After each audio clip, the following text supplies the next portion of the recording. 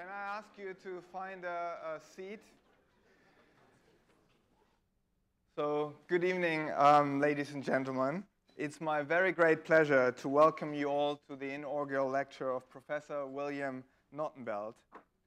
You probably all know that inaugural lectures are one of the very few formal events which we have here at Imperial College.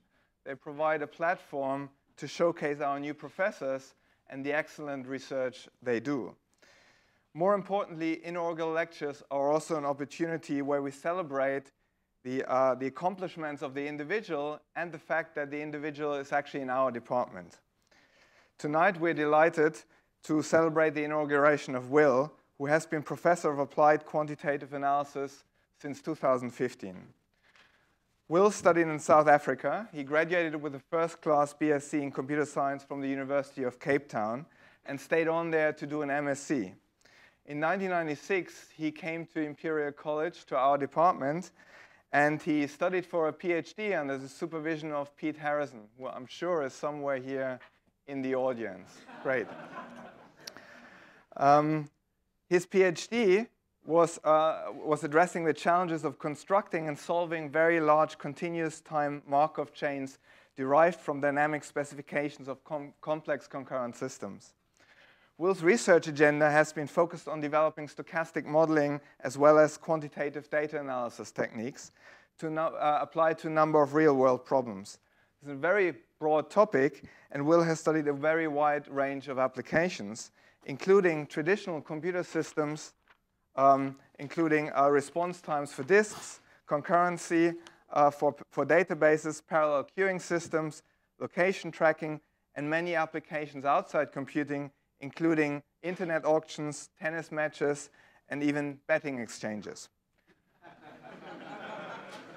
okay, so you might think betting exchanges is uh, esoteric. Um, however, when I looked into Will's research a bit more closely uh, in preparation for this inaugural, I realized that some of Will's highest impact work has been actually applied to studying the problems of car parking and penalty charges for car parking related offenses. In particular, I was very pleasantly surprised to find some of Will's highest profile research being published in The Telegraph.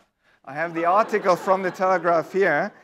Uh, in, a, in, a, in, a news, in an article entitled Academic Finds Links Between Parking Tickets and Wardens Over Time.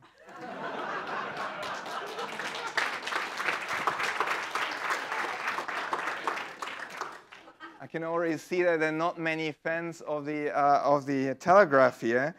But uh, despite the nature of this publication, and you might think there's probably not very much quantitative modeling going on in this article, however, I want to really dispel this, uh, this myth by reading you a quote from the article. Dr. Knottenbelt reached his conclusions by carrying out a detailed statistical analysis of the data provided by the Royal Borough of Kensington and Chelsea. He then crunched the numbers using a recognized statistical tool known as Spearman's rank correlation. So it doesn't really get much more sophisticated in terms of data analysis than this. And you might, of course, say, well, an article in the Daily Telegraph, that's not really a peer-reviewed article. Uh, I have to disagree, because I realize that the Telegraph is one of these progressive publications which practices public peer review by including the reviewer's comments about the paper inside the paper. And to illustrate this, I want to read you one more quote from, from this article, which says, a spokesman for the NSL, the contractor used by the council, said the research lacked any robust evidence. Hang on which she found surprising given Dr. Knottenbelt's stature.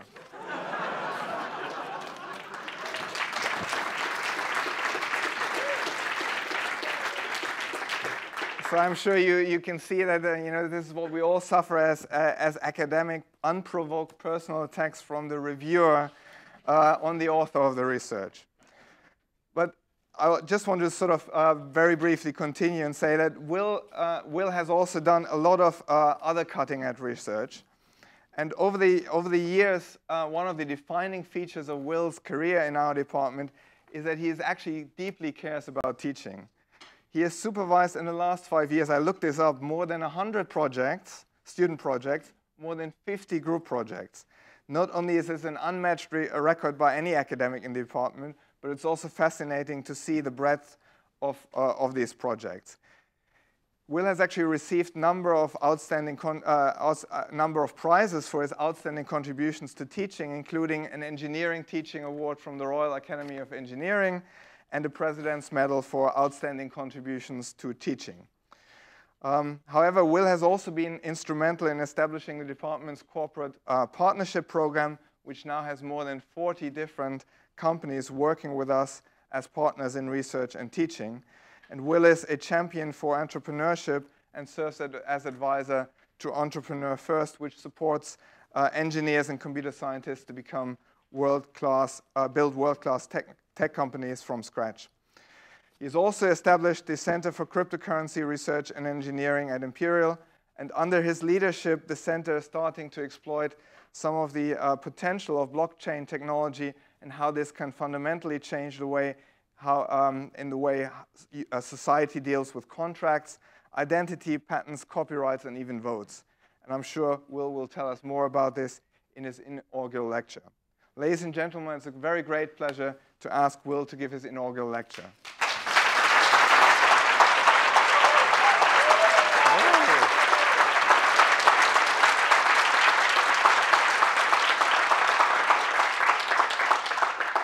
Thank you, everybody. It's great to see so many of you here and to see so many old friends, colleagues, and uh, family.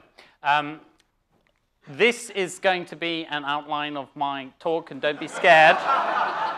This is what we call a uh, Petri net, and it's one of my favorite modeling formalisms, and it can be readily mapped onto uh, uh Markov chains. Right, so you'll see we will begin and end on this particular place here, so the circles of the places, and that you can think of them as either locations or resource holders.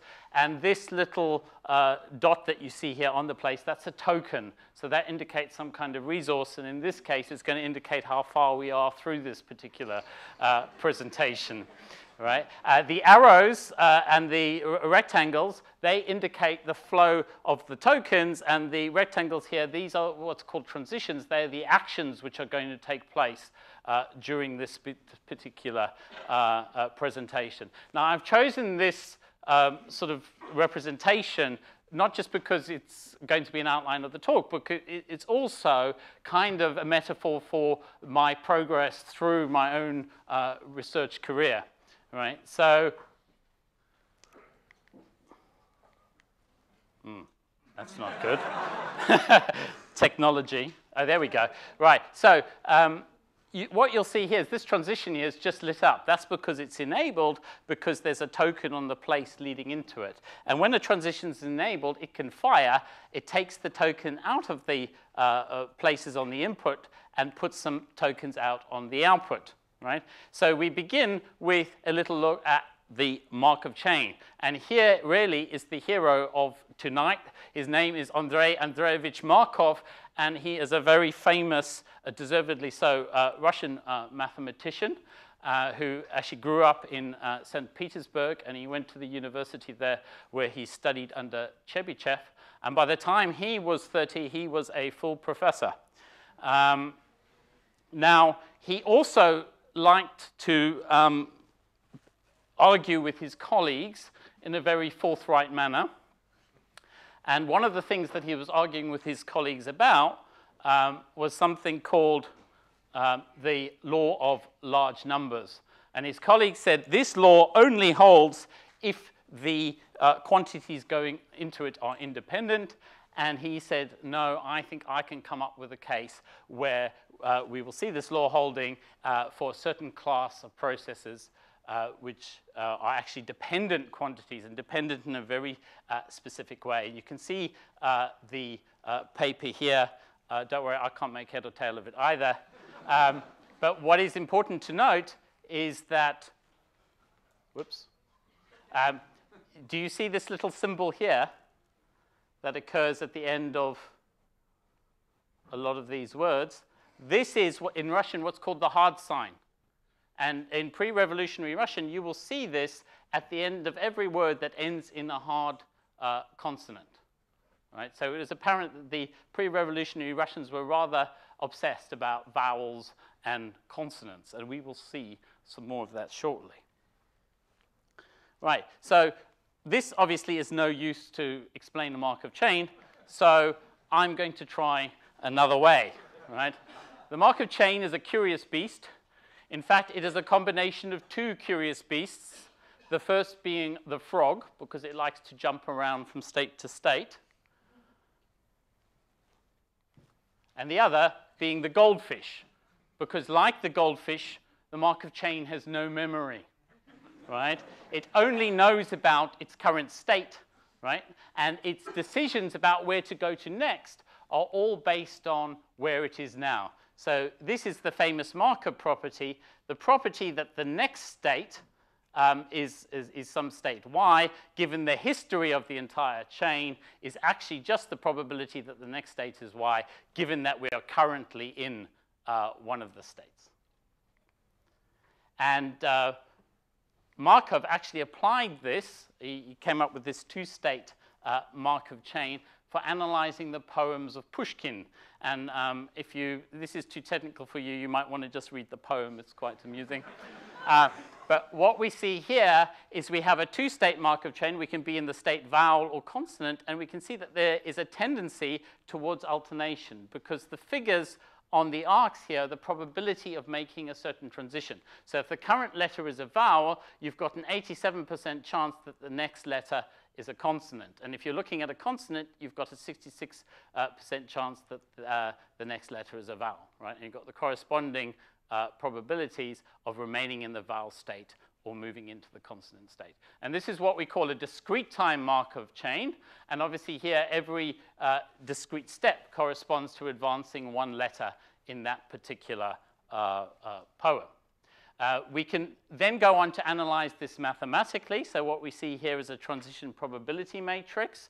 Uh, and you can see that there are two states here, just like here. This is the vowel uh, and this is the consonant state, and the probability of moving from the vowel to the consonant state is 87% uh, and, and, and, and so on. So we encode these transitions in the diagram here in a simple matrix, which we can then analyze by performing what's called a steady state analysis. So we solve a set of equations and we come to the conclusion uh, that this process will spend roughly 43% of the time in the vowel state and 56% of the time in the consonant state, which happens to match very well the actual proportion of vowels and consonants in that particular uh, poem. Now, not all systems that we need to analyze actually work in this discrete time manner. Many systems work in real time and what we call continuous time. Uh, and in this case, we, don't, we can specify Markov chains, but we don't have probabilities. Uh, we use rates. So here we have a system where two computers are providing a service, and this is the state where both of them are working, and then you will see that they uh, break down at a total rate of 2 lambda, move to the state where one computer is working, it can break down, uh, and then there's a repairman who comes and tries to fix everything at rate uh, uh mu, right? This is like me at uh, a medical clinic called Dr. Today. Um, now, what we can do from this representation is come up with a matrix of transition rates, and we can solve a similar set of equations and work out the proportion of time uh, that we spend in each of those states. It turns out that the amount of time that we spend in each of these states follows a particular distribution called the exponential distribution, which is in fact what we call a memoryless uh, uh, distribution. So the idea of this is here you can see uh, an exponential distribution with rate parameter 2. So there's some kind of event that's trying to happen on average twice a second. And this gives you an idea of how likely it's to, uh, uh, to occur as time uh, moves forward. Now, if we have happened to have waited um, 0.8 seconds and nothing has happened, right? If we consider the, the density of the remaining time, uh, we move that back to the origin and then we, we normalize it, well, it's exactly the same as the original um, uh, density. So in other words, it doesn't matter how long uh, we have waited, uh, we still don't know how long we will have to wait in the future. It is, in fact, a completely memoryless uh, distribution.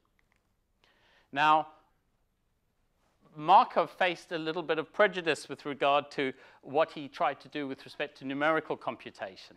Right? Many mathematicians apparently believe that going beyond the field of abstract reasoning into the sphere of effective calculations would be humiliating. right? Uh, fortunately, we seem to have left that era long behind us.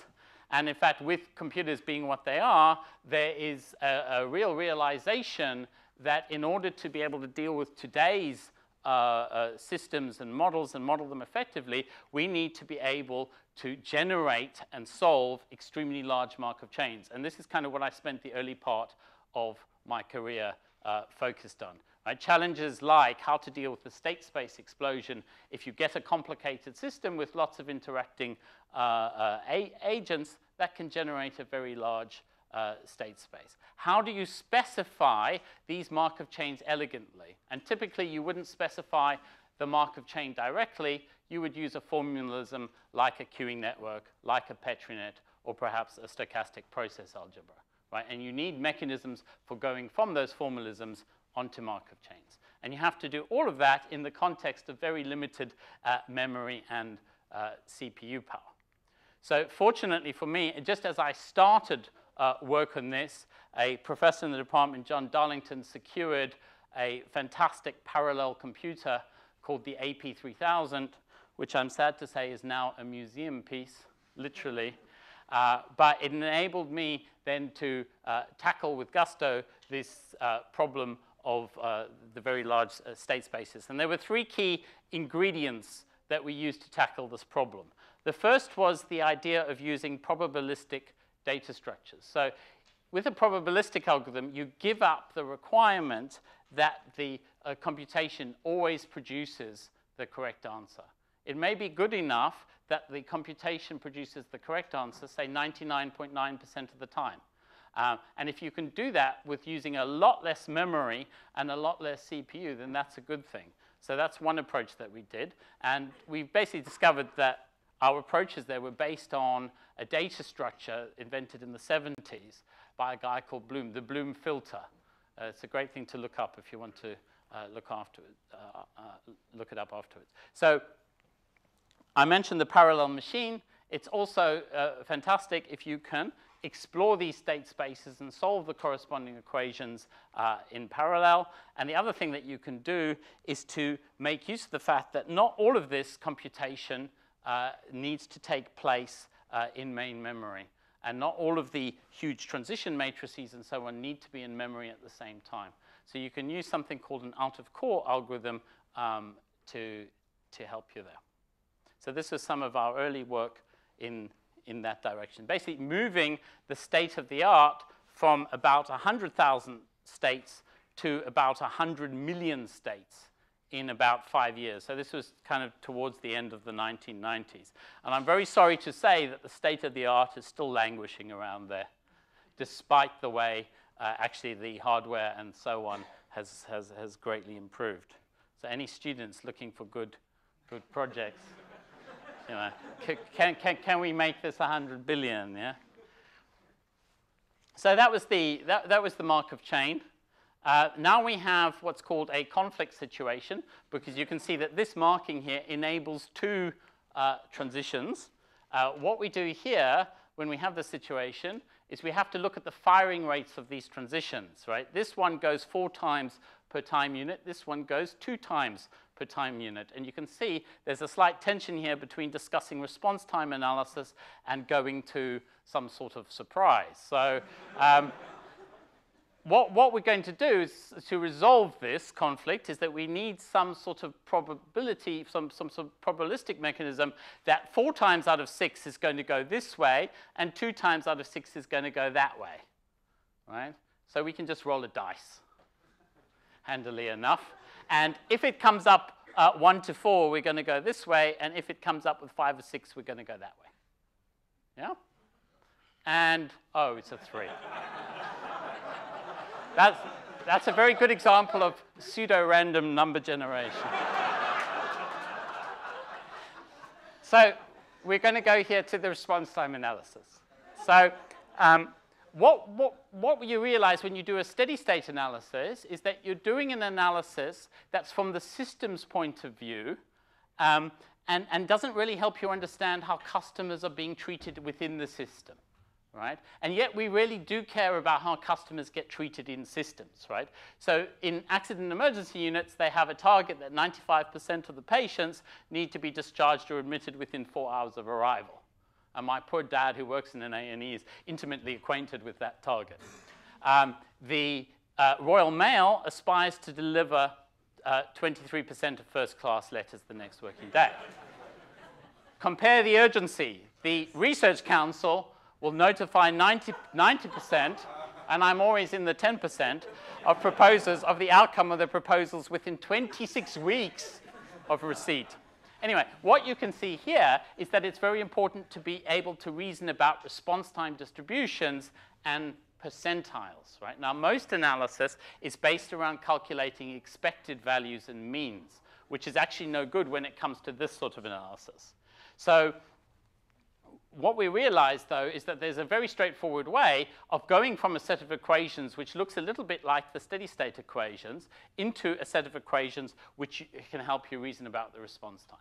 And in order to do that, you have to get out of the time domain, the usual uh, world we live in, and move into the frequency domain um, and exploit the properties of a very nice uh, a transform called the uh, Laplace transform. Now, when you move into the Laplace transform world, things are very spooky, right? If you want to differentiate something, you just multiply it by this, uh, uh its, its parameter s.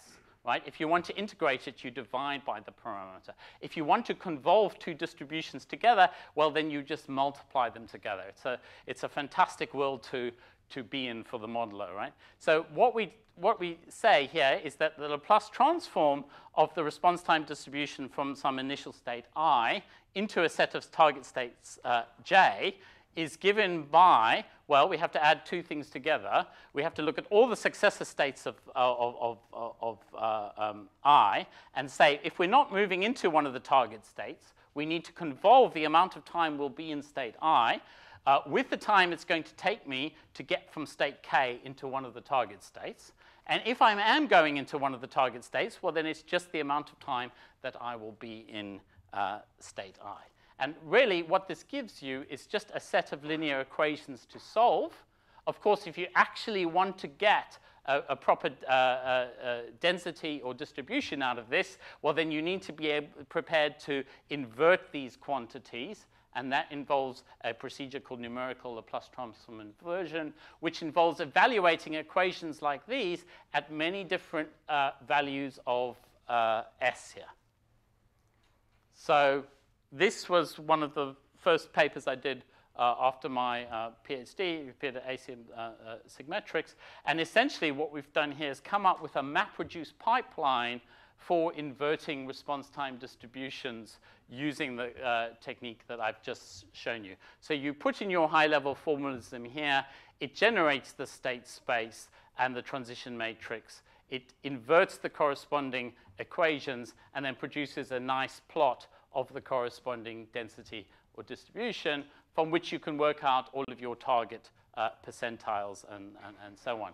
And this was also the basis of our first research grant, which is passage times in large Markov and semi-Markov chains, handily abbreviated to pastrami. now, one of the reviewers, and there is always a jealous reviewer, even when you write an article about parking, um, said, I really don't like this grant because it's named after a foodstuff. anyway, um, we then, we then went on, my first PhD student, Nick Dingle, um, uh, went on to think about how to apply this to many other different formalisms, including uh, generalized stochastic uh, uh Petri nets. Um, and he did his PhD on this uh, uh, topic. Um, we also went on with my very good friend Jeremy Bradley, who's here tonight, and, and his wife Helen. We came up with a method of solving these equations in parallel, but using many different groups of processes to solve each set of Laplace transform equations in a way that minimized the amount of communication uh, that was necessary between the processes doing that computation. And uh, if you want to know more about that, there was another PhD student, uh, Alexander Trifunovic, who's also here, um, who came up with the world's first uh, parallel tool for solving, uh, for, sorry, for partitioning uh, very large hypergraphs. So this is a tool that can help you efficiently partition circuits uh, to lay out distributed databases in an efficient manner uh, and so on. It's really worth uh, a read. Um, right, so that was uh, learning about how to set up all the theory behind uh, response time analysis. But what about some of the uh, applications? So one of the first things that we looked at was the common hard disk, right, which is still the capacity backbone of uh, uh, the data uh, center. Now, these hard disks, they're absolutely amazing things, right? This platter is spinning at speeds of up to 120 miles per hour. The head is hovering over the surface of this platter at a distance that is less than the wavelength of light, right? And if it touches that platter, it's a disaster and yet somehow they manage to keep them apart, right? Uh, these tracks that it's reading from, they're not perfectly round, and they are one three hundredths the thickness of a piece of paper, right?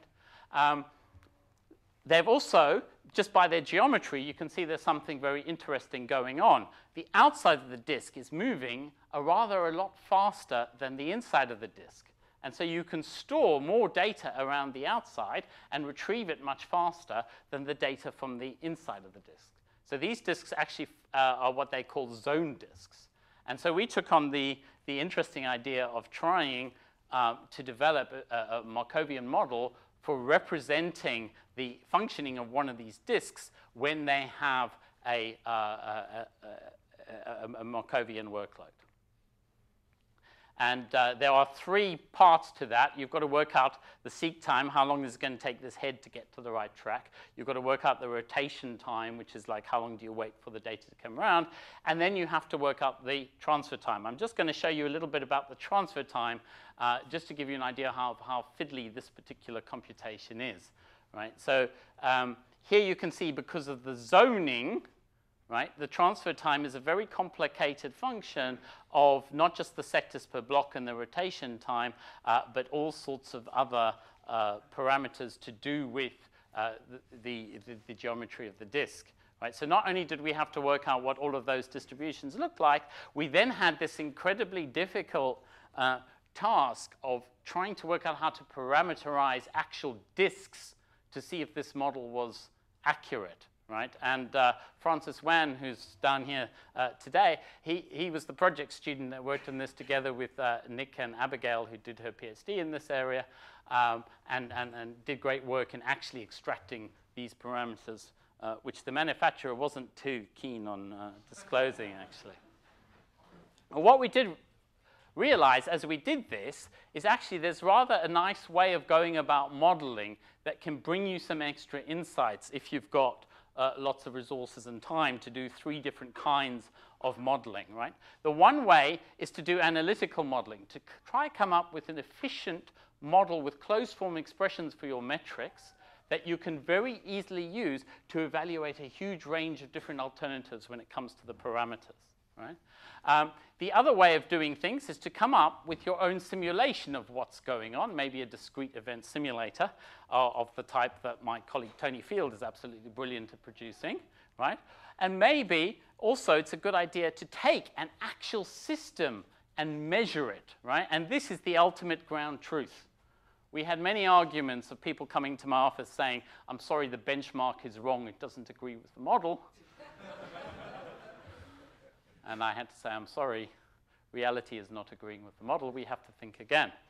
Um, and what's very interesting then is if you uh, are able to take those three completely different approaches and get them to mutually validate each other and agree, like it's doing here for a particular uh, measurement of response time uh, on a disk, then you know that you've got a model that's working really well. And in this case, is not just giving you like average access times or whatever, it's actually giving you the full distribution of the time. So you can tell 80% of these accesses are going to happen in under 24 uh, milliseconds. And this was the basis of Abigail's um, um, PhD. So Abigail uh, was uh, one of my first PhD students, and she is now chief data scientist at Uswitch. And we had two uh, research grants as well that uh, emerged from this uh, work that were incredibly great fun to uh, work on. Of course, the single disk isn't the end of the story. in data centers, you find these things called RAID arrays, redundant arrays of inexpensive disks. And the idea is um, to use multiple disks to enhance both the performance, because you can stripe the data across the disks, and reliability, because you can add redundancy, which enables you to recover in the case of a, uh, a, a failed disk. So what you have here is a logical I.O. request comes in, it gets chopped up amongst all of these physical disks, and when they've all completed, uh, you can move on to the next logical IO request. So this is called split merge or fork join behavior, and it comes with a whole lot of new modeling challenges, right? So, um, and this was the start of our interest in this uh, whole uh, uh, notion of parallel queuing systems, of this notion of systems where tasks come in, they split into subtasks, and then they somehow uh, rejoin. And uh, Irina uh, Shimoshenko, for example, did her PhD in that area, and Tommy Pesu is carrying on um, that work. Uh, this is just an example of the kind of uh, result that we were then able to get. So here we are comparing the observed uh, density of uh, response time in a particular kind of RAID array for a particular kind of uh, write request. Uh, that's the, the measurements of that black there's black histogram there. And then we've got three different kinds of uh, Markovian model that we've overlaid over that, which give a pretty good match um, to, to the shape. Uh, other work that we did, well, um, we had a look at patient flow in accident and emergency units. Basically, follow my dad around with a clipboard. Not really. Uh, um, this was a student of mine called uh, Susanna Au-Yeung, did some amazing work and a lot of in-depth uh, research into the processes uh, that all the different patients in the A&E department uh, uh, went, went through when they came into the unit and made a lovely queuing model of this that showed that prioritizing patients with minor injuries and minor illnesses is exactly the right thing to do. It's beneficial both for other patients with minor illnesses and injury and patients with major illnesses and injury because it keeps the system much more clear and it keeps resources available to deal with uh, emergencies. And Susanna wrote that up in her uh, PhD uh, thesis. Uh, two more um, PhD students of mine, Nicholas Anastasiou and Suqing Hornge, did some uh, work on going from location tracking data to performance models. So our idea was, could you, for example, walk into the accident emergency unit, put location tracking tags on uh, the staff and say the medical records, let them go about their business, and then come up with a performance model that explained why all the patients were waiting around for so long.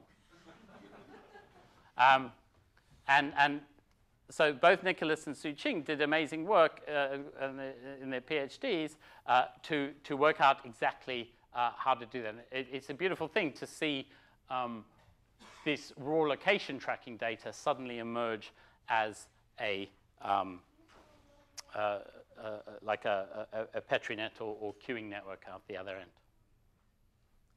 So that was the um, uh, work on uh, the disk arrays, and you can see that our token has split across the three disks there and is about to rejoin. Um, I want to talk now about um, another hobby of mine, as you've heard, is, which is tennis modeling. And you can see here we have this transition here. It's called the serve. So we are going to observe the serve of John Isner, who uh, serves at 150 uh, miles uh, per hour and you can see how, what an incredible action uh, that is. Now, why tennis, right? Um, and what makes it suitable for modeling? Well, tennis is actually a lovely sport because there's only two people who usually play it, right? Unless there's a doubles match on. But uh, for, for, for, the professional singles matches, there's just two players on the court. There's no interaction between team members. There's one person on each team, and that's it, right? Uh, there are usually only two um, match outcomes, although um, I hope this works. There are other unusual match outcomes. So like this one. yeah. So this is David Nalbandian drawing blood from a line judge. Yeah. And getting himself disqualified. Now, unfortunately, that is something that we absolutely cannot include in any model. Nevertheless, it was a revelation to me that it's not just two outcomes. A can retire, B can retire, A can assault the line judge, B can assault the line judge. Right? Um, also, in, in, in tennis, it turns out that there is no significant home advantage. Um, you know, in football, there's a very strong home advantage for the team that, that, that's playing at home, not so in uh, uh, tennis. There's also lots of uh, historical data about this, and it has been recognized since the 1960s, although nobody told me until much later, uh, that tennis is actually a Markov chain, right? So this is one of the classic textbooks on Markov chains called Kemeny and Snell from 1960, and they actually have this tennis example in it.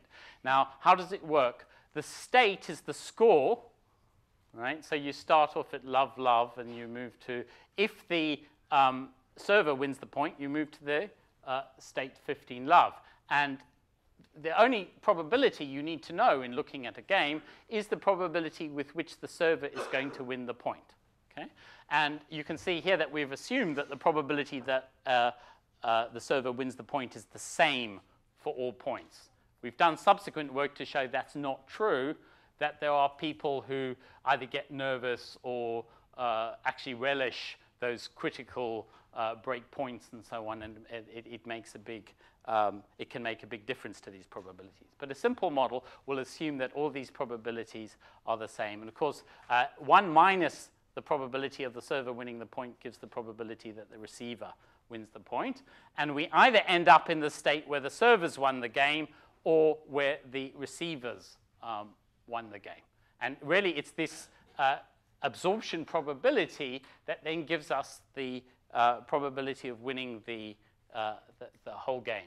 So if you take this and you solve for the probability of absorption from starting in the love-love state to the uh, state where P1 uh, wins and the probability of P1 winning a point is P, then you get this equation here. So you can see that if you can win uh, about 75% of your uh, points on your serve, you will crush this game. You will do very well. Right? And this is part of the reason why someone like John Isner does very well, because he's got a cracking big serve that nobody can return. Right? So he's up in this region, and the probability of him winning games in his serve is uh, very high. Um, of course, the individual game is not the end of it when it comes to tennis. There's a set where the serve alternates, and you need to take that uh, into account. But again, this is just a Markov chain, where now the probabilities are just the probability of you winning a game. Right? So we take the output of the results from that first uh, game level analysis and we put it into uh, the set level analysis. And of course, we can take the output of the set level analysis and put it into this uh, match level analysis. So this here in particular is the best of three sets match. So we start with um, uh, nil-nil in terms of the sets, then we end up with uh, one player or the other winning. So we can also use these hierarchical models to work out the probability of either of the players uh, winning the match from any particular point that happens to uh, arise while the match is in play. So here we have a situation where they've won one set all. It's four games to one to player one, and it's currently love-love uh, in the game. Now, obviously the key to getting those models right is to estimate those probabilities with which each player is going to win the point on their serve accurately. And um, so we came up with something called uh, the impact model. And I'm very pleased to say that one of the developers of the impact model, Bryony Goldsack, is sitting here uh, today. And uh, the idea of this model is that you cannot characterize the strength of a tennis player in terms of one metric, right? When you look at the tennis rankings and you see that this person is number one and this person is number two and this person number three, that's nonsense because there are two important elements of a tennis game, the serve and the return. And your ability in both of those is absolutely paramount and cannot be summarized in one number, right? So um, we came up with this model that actually characterizes what effect do I have on my opponent's serve on average, and what effect do I have on their return uh, on average. And what we see are uh, uh, sort of scatter plots like this. So this is the serve impact. This is how I will affect the serve of my opponent because my return is good. And this is the return impact, which is how will I affect uh, the uh, uh, return of my opponent because my serve is so good. So do you see up here there's some players, John Isner, our great big whacking serve guy, who turns out actually to benefit the server's opponents because his return is really weak, right? But he will strip off 12 uh, percentage points off your normal return because his serve is so fierce, right? So these guys here are what we call the big servers, and they are one way to be successful in men's tennis right? Have a cracking, great big serve, and which nobody can return, and then doesn't matter if you're not that good at um, returning their serve, you just have to wait to get lucky. and that's why when these guys play matches, they're very, very long, right? And they all come down to tie breaks and, and, and, and, and so on and so forth. And you remember John Isner and Mahut played the longest match in history at uh, uh, Wimbledon because in Wimbledon there's no tiebreaker in the final set. Um, you also observe that all the really good champions are down here on the edges of these graphs. We've got Federer here, Djokovic, uh, Andy Murray, right? And it's almost like being on this sort of efficient frontier here is a, a key to actually being a champion and, and, and, and winning at uh, tennis. Uh, if we have a look at the women's game, you will notice that there are no big servers in women's tennis, at least no big servers who can't return. There is a big server, her name is Serena Williams, but she also returns like a demon, right? And, and she stands out here alone and peerless amongst uh, uh, uh, the women players. other players like uh, Radwanska, Sharapova, Halep, and, and Azarenka, uh, they are again the champions here on the sort of edge of this graph. People like Caroline Wozniacki, excellent players, but possibly doomed to not win that many Grand Slams and so on because they're actually inside this uh, efficient frontier. And if you plot what's going on then, if you take that sort of kind of scatter plot summary and, um, and put it into this box plot form, uh, what you can see is that here are those big servers, right? Uh, Raonic and Isner and Karlovic, right? With their absolutely weedy returns, right? And here are the champions. These are the Federers and the uh, uh, uh, Djokovic and Murray and so on are in this region where they take strips off both of their, um, uh, the, the return and the serve of their uh, opponents. Right? And then there's the, the rest of the field. In the women's game, uh, we see it's a little bit more uh, regularly uh, layered, right? There's the champions group down here with people like Serena Williams and Agnieszka Radwanska and Sharapova in it, and then um, it's a little bit more uh, balanced.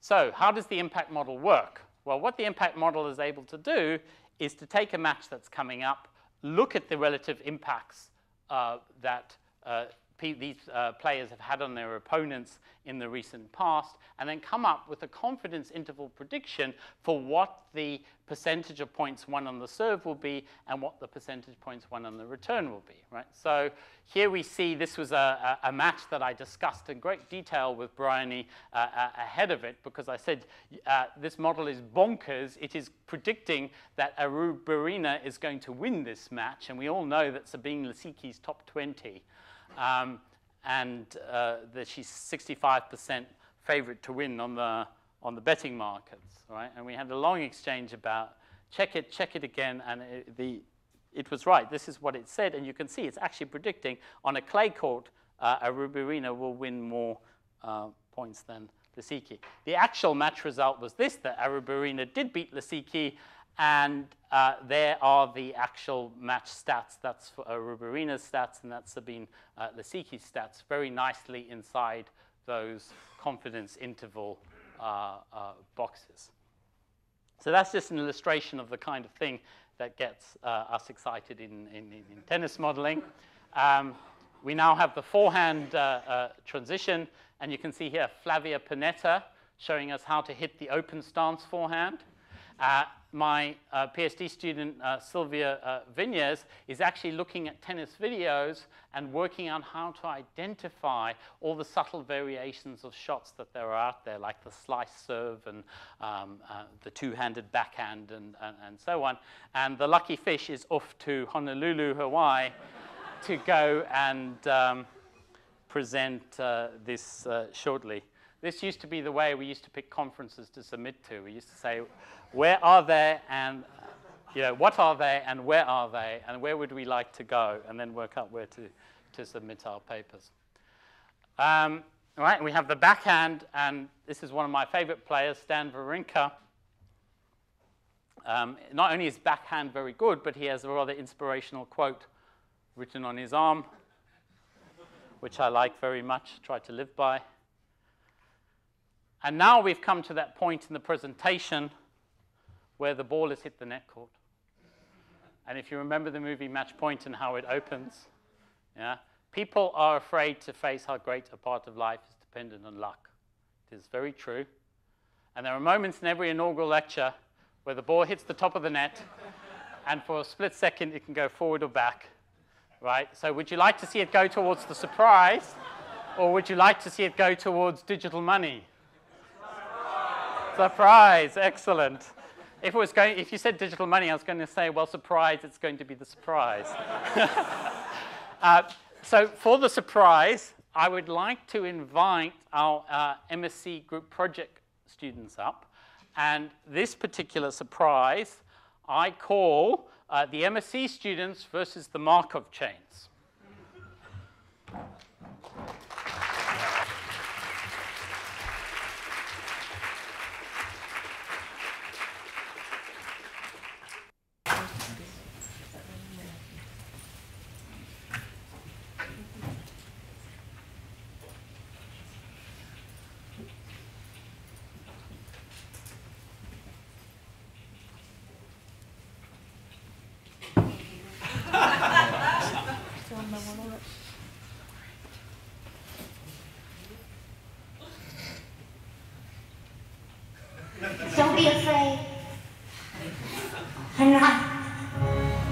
wizard who should be afraid of me.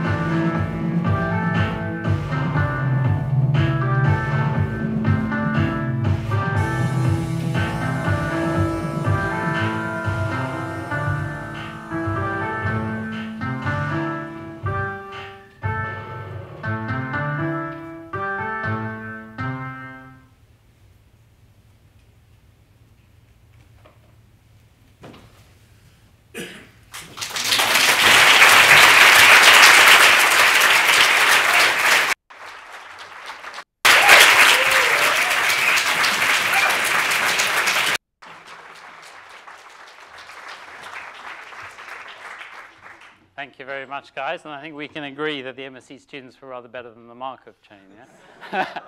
uh, I think that's a great example of not only the fantastic ability of uh, uh, our students, but just how lucky uh, we are as academics to, to work here and work with these wonderful people. Um, it's also a good example of the kind of project I like to do just for fun. um, Right, so moving on from the surprise then, let's see where this uh, transition is headed. Oh, look, it's digital money. um, so, let's just talk a little bit about digital money or cryptocurrency and, and, and what it's all about. So I've called it here the value token revolution, right? Uh, so essentially what we've uh, uh got here is a digital analog of something that we're already very familiar with, right? So the uh, notes that you have in your pocket, they are centrally produced and managed. They're very physical, right? You can pass them around, give them to each other. Um, it's very interesting because people seem to feel that these notes are valuable because they're backed by something. But I'm not sure if you've read the promise on them, right? I promise to pay the bearer on demand the sum of 20 pounds. Well, that's what I already have. and if the pound is not worth anything, then I have something worth nothing. Right? Just something to think about. When people say, why do bitcoins, why, why do other cryptocurrencies have value? The answer is because people believe that they do. Um, and it's just like, just like the, the pound, right? Uh, the security inherent in, in the money in your pocket is all down to some sort of a complex production process that's designed to make it difficult to, to duplicate, right? The shiny strip here, the watermark, and, and, and, and so on and so forth.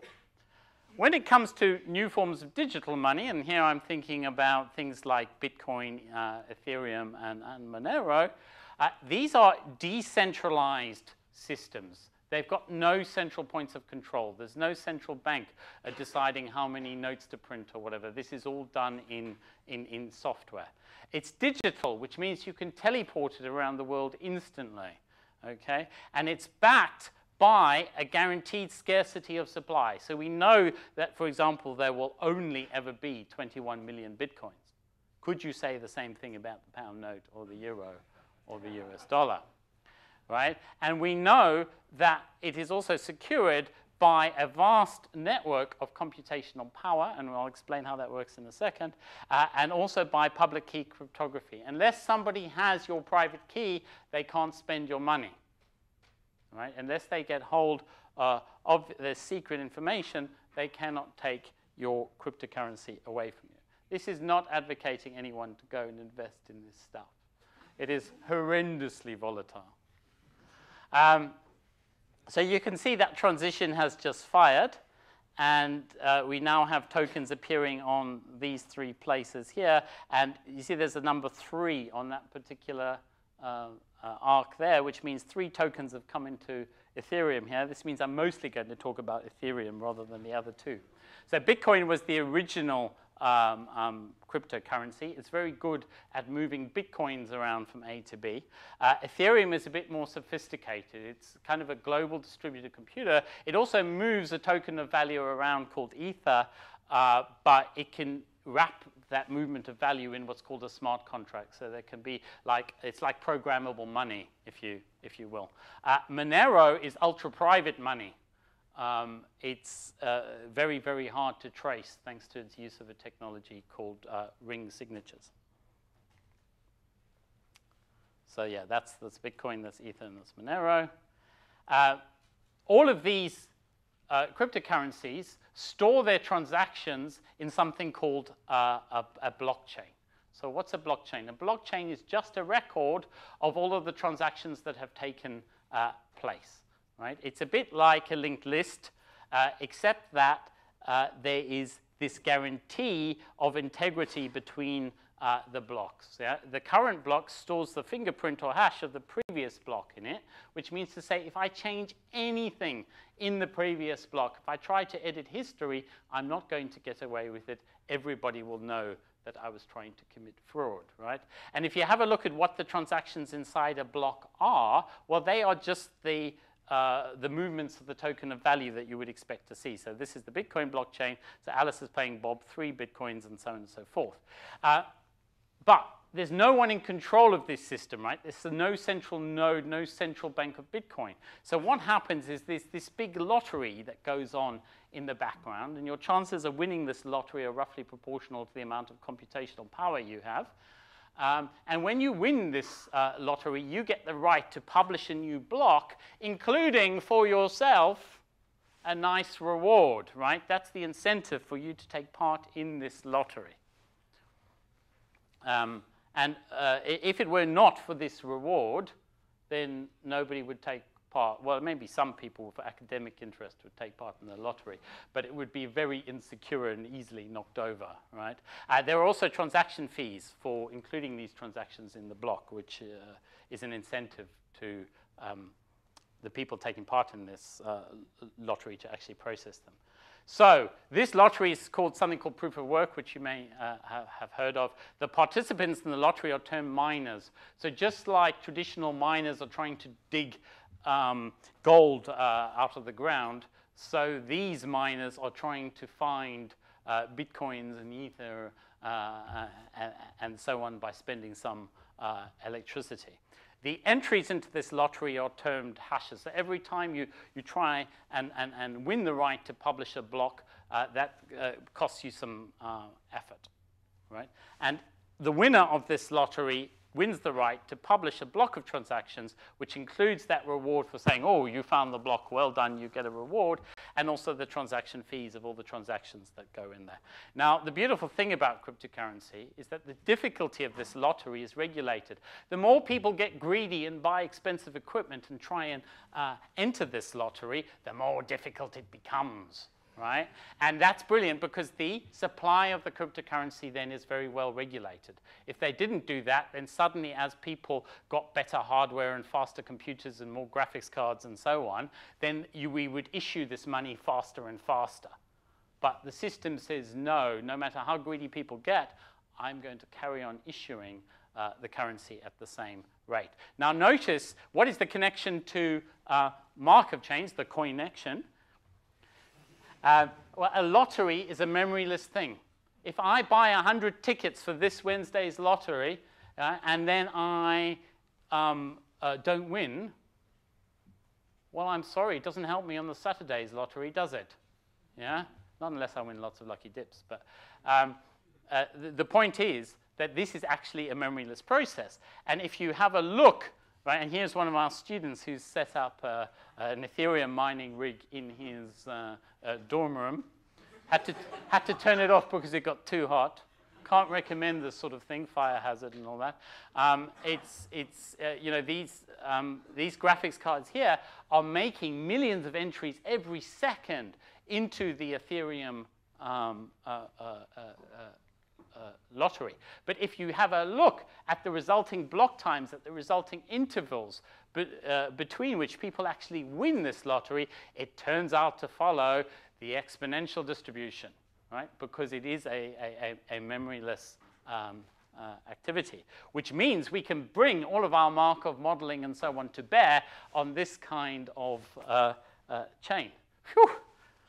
We were very happy when we discovered that. so the thing is that if you're going to enter this lottery by yourself, you're probably not going to do very well. You're probably going to discover a block very irregularly, and, and you're not going to discover that many blocks. So what you can do is club together with some friends, make a mining pool, uh, whereby the rewards from all of your joint efforts then get somehow distributed to everybody on some kind of equitable basis, right? And one way in which this is done is that we form a queue of participants ordered by contribution, and when the pool wins a reward, we give it to the participant at the head of the queue. Right? So I'm about to suggest a new revolutionary way for reorganizing the payment of salaries in the department. what we should do is put all our staff members out there, and every time they do some work, we give them some credits, right? You supervise a project, you, you, you know, you get a new PhD student, you, you get some research grants or whatever, you get some more credits. Okay? We take all the money we normally pay for salaries and we put it into a pot that drops from the sky at exponential intervals, but such that the total amount that drops, will drop from the sky during the year is equivalent to the amount being paid at the moment for salaries. Okay, so here we have this uh, thousand pound pot waiting to drop at an exponentially distributed random moment onto the head of the person who happens to have done the most work in the department at that moment, right? So this guy here who's done 50 credits worth of work, or this person here who's done 50 credits worth of work, gets this thousand pounds dropped on their head, right? Now you see then that their credit then need to be adjusted. And it turns out the fairest adjustment of the credits is not to reset these credits to zero, but to reset these credits to how many credits they've done, less the amount of, um, you know, it's all, all, to do with the relative amount of work that you're doing. So the amount of credits that this um, person will then get having received their little salary payment will go to 10 uh, credits. That person then has to go back into the queue wherever they should uh, stand. And notice it's not necessarily the back of the queue. If, if, if, if, if that difference, uh, if they were doing such a lot of work that, that, that they, they, shouldn't actually go to the back of the queue, then they will come in there. And then we wait for the next thousand pounds to drop onto the head of the person who's done the, uh, the most work. Now, you might think that sounds absolutely ludicrous, right? and it probably is for a salary payment scheme, but it's exactly what's going on in queue-based Ethereum mining pools out there, right? Here is the queue of people. Here is the amount of work that uh, they've done in terms of what's called the credits here. And you'll see the person who's done the most work here with the 867 terahashes, that's 867 trillion hashes, right, is actually waiting for the next block uh, to be won by the mining pool, and they will pick up all of the block reward uh, when that happens, less a little fee for the, for, for the mining pool, right? And then their credits will get reset to the difference between themselves and the person after it. So who thinks that sounds like a good idea? Yeah? Who thinks this is great for people who do a lot of work? yeah? Who thinks this is not good for people who do a lot of work? Yeah, people are a little bit unsure. So what we've done is we've simulated this particular um, um, setup, and it turns out that this is actually bad for people who do a lot of work. If you look at the relative difference in return uh, in terms of the number of mega hashes that you're doing by your hash rate. So here, here, are the, uh, here are the very busy miners doing a lot of work. They are actually getting, relatively speaking, to uh, the, the, the, slow miners who are not doing a lot of work, they are actually getting a bit of a poorer reward. There's about a 4% difference between uh, the reward that they're getting for their work versus the people with the, uh, uh the, the, slower uh, hash rate. And that was kind of a surprise because if you look in the um, uh, discussion forums and so on, you get conflicting advice about if you're a big miner, whether or not to join this pool. In fact, they say if you're a big miner, you should come along and join this pool.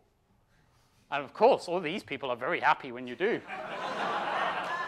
you know, so you know, it's like when you read in, in one of those troll boxes on a cryptocurrency exchange, buy this, buy this. You know, that means, oh, I have to get rid of a lot of this. I, you know, you need to sell. Um, now, what's also interesting is if you then have a look at um, the reward uh, so for um, this kind of queue-based system versus a more traditional uh, system that just uh, disperses reward proportionally to the contribution uh, made in a particular round, then you can see actually this is quite um, uh, inequitable um, compared to that other, compared to a more flatter system where you just dish out rewards proportional to the contribution, which is the other way to do things. Um, and it all boils down to the fact that who do you not want to be in this picture? This guy, exactly. Thank you, Sophia. Yes, you do not want to be this guy because he's doing all the hard work and all the others are riding on uh, his, his, his, his efforts. And if you want to learn more about this, then uh, we have a paper coming up at the uh, Mascots Conference um, and this will shortly be available once we've, once we've finished preparing the uh, camera-ready copy. Go. Swimming with fishes and sharks beneath the surface of queue-based Ethereum mining pools. I think it took longer to come up with the title than to write the paper. um, so I'd just like to conclude then with some um, words of thanks. So firstly, to my beautiful wife and my lovely daughter, Monica and Ella.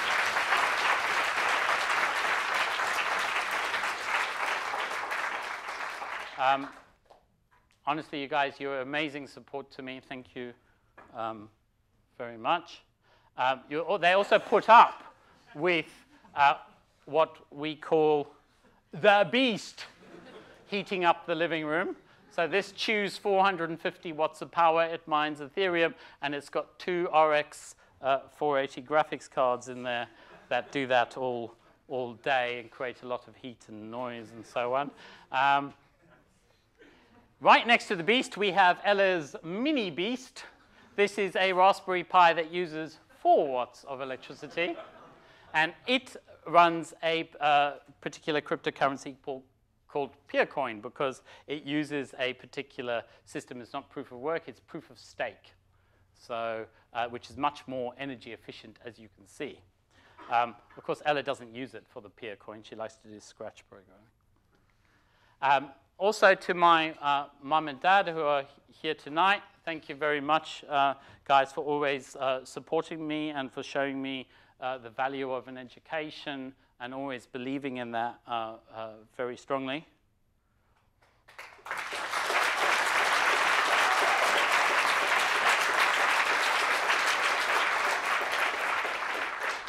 Also to all the funders of uh, my research from the Engineering and Physical Sciences Research Council, uh, to Innovate UK, to uh, more latterly uh, uh, blockchain and, and, and, outlier ventures. All of the support is absolutely essential. And, uh, you know, and since the country has no money left, we are increasingly, we are increasingly dependent on the goodwill of, of, of, of industry to make pro progress. Uh, also to all of the students I've worked with. Honestly, I'm very sorry here because this collage program only allowed me to put 500 people in here and I needed a lot more. However, um, I will say that, you know, if I have been able to give flight to my imagination, it is only because of all these wonderful um, students that I have uh, uh, worked with. Um, so there's the, all the PhD students, and I really wanted to be able to talk more about all of their uh, achievements. But, you know, if I just talk for 10 minutes on each of them, we'll all be here for three hours. Um, you know, uh, Tamas, who's done excellent work in uh, uh performance queries. Uh, Edmund, who did amazing stuff uh, with um, betting markets and, and, and, the Kelly criterion. Um, and, and, and so on and so forth. And Jack Kelly, who's now at DeepMind, who did amazing work on disaggregating um, whole house electricity uh, consumption feeds and working out what kind of devices were on at what time and so on. Uh, it's, they've all been amazing, and I could go on for, for hours about each of them. Um, also, to all of my project students, yeah, you guys, I, I don't know, I, I, I can't supervise enough projects.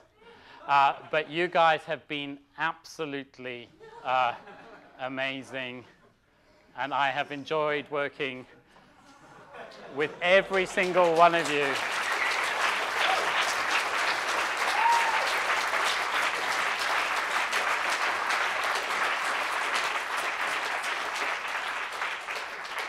Also, to all of my wonderful Imperial colleagues, both past and, uh, and present, yeah, my old PhD supervisor, Pete Harrison, uh, Barbara Claxton, who for many years was right next door and, and, and really helped me with all uh, admin problems and so on. Uh, everybody who works in the computing support group, all the administrators in the department, all the support staff, uh, all of my colleagues, all the people in the business school, all the people in the data science uh, uh, institute, all the people in the faculty. Honestly, it's an absolute pleasure to work here and work with you guys.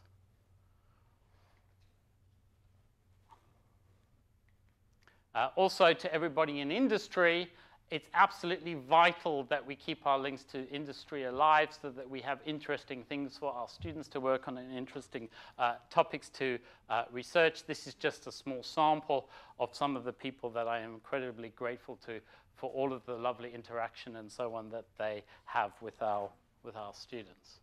Um, also to uh, research colleagues from around the world, and I'm very happy. Uh, Katinka here is going to give the uh, vote of thanks, but you know, Nigel and Aad from uh, uh, Newcastle is also here. Catty uh, is, is, is, here as well, and that's very nice. finally, I, just a quick word to say, I'm a firm believer in entrepreneurship, and I'm really encouraged when I see our students not just wanting a job in financial services or, whatever it happens to be, but actually being willing to go out there, take their project work, and launch it out there in the real world as a real uh, startup. And I don't have time. Again, I could talk for half an hour on each of these. Uh, but if you want to have a, a, a, look afterwards at some of these uh, startups, these are great uh, uh, examples of how our students are using uh, blockchain technology to revolutionize particular um, uh, industries. And that's it. I think you're worried that I'm going to start again. Fortunately, this is a dynamically reconfiguring Petri net, right? And so what will now happen is that uh, we'll have the vote of thanks. Thank you very much.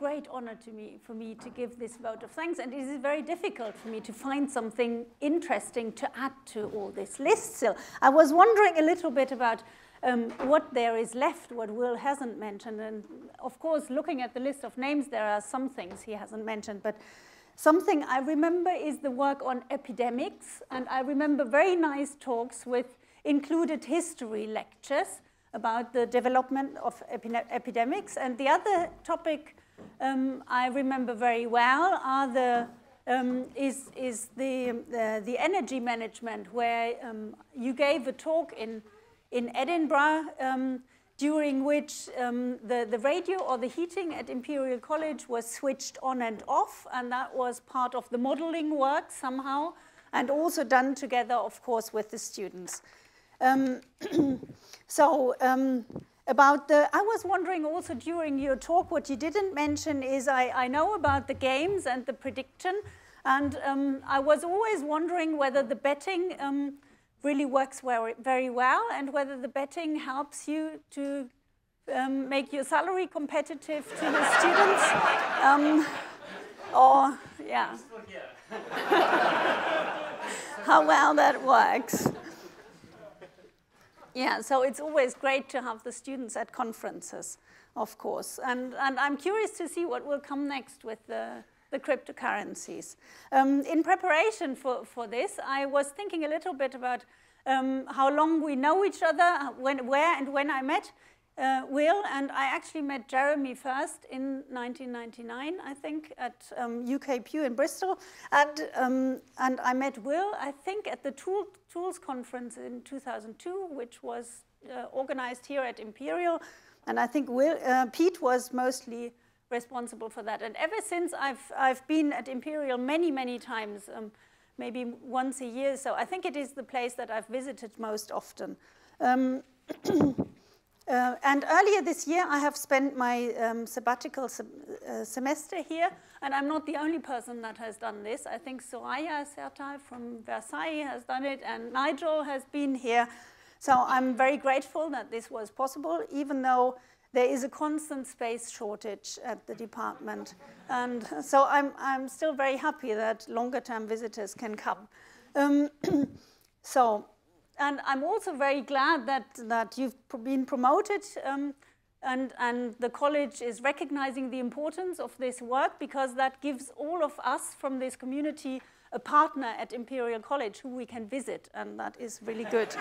um, so, and um, well, what people value for is not only do you enable and produce excellent research work, you're also a very far-sighted organizer. And you've hosted lots of major conferences. And um, lately, London has become so expensive that some conferences like Value Tools move away. But maybe in times of Brexit, this will get better again. um, Um, so you, you're continuously hosting meetups and workshops and PC meetings, and people totally rely on you um, because they know you will not uh, compromise on the participants' experience in any way. Um, you consider the convenience of the location, so the location is always perfect.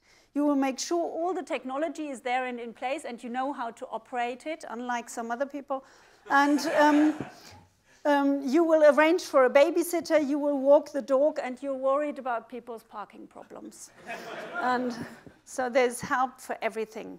Um, you, and you, you welcome everyone to your office, which I shared with you during my sabbatical stay.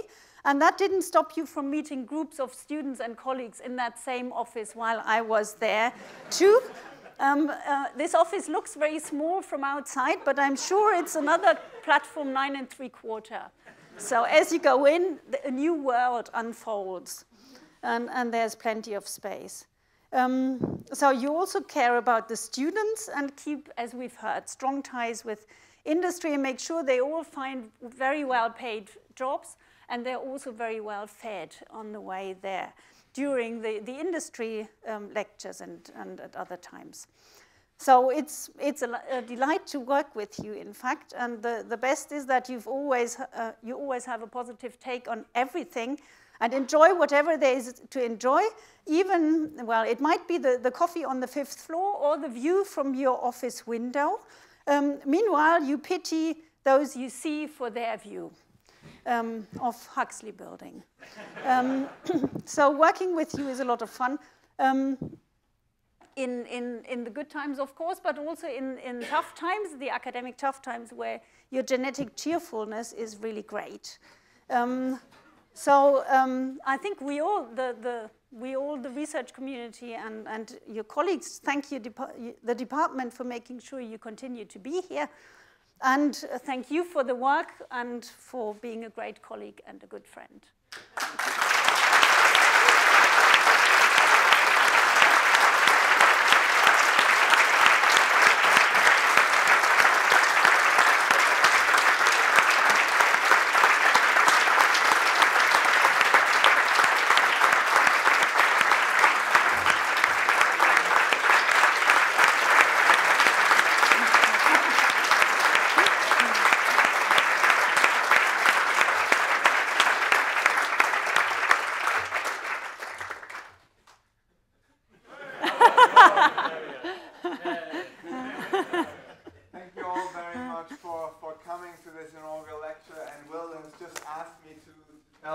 Those of you who have a ticket for the reception to move to 170 Queen's Gate for some drinks. And those of you who don't know how to get there, just ask one of the locals. Thank you all very much for coming.